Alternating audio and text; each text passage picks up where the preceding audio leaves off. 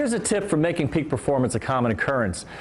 In various sports, whether it be basketball, football, soccer, lacrosse, whatever you might want to pick out, there's a time where you have to cover somebody.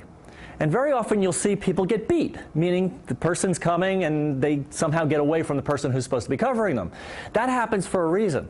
If, for example, right now you had to cover me, okay, and I come in and I make a move and I do something, for a second you're seeing this and then you're trying to focus, and if I've taken that extra step, I might have had to step on you and I, I've now beat you, okay? But let's try this.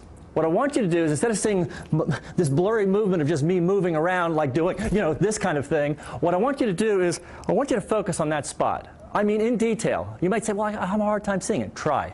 Try to see this detail as much as you can. No matter what I do, stay focused on that detail. So look there. Okay, no matter what I did, you know, if I did an impulse cut and moved, that little piece can't get away from you.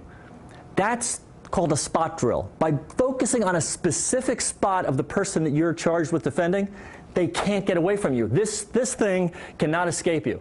My whole body moving, shifting, and so forth, I can fake you out. This can't fake you out.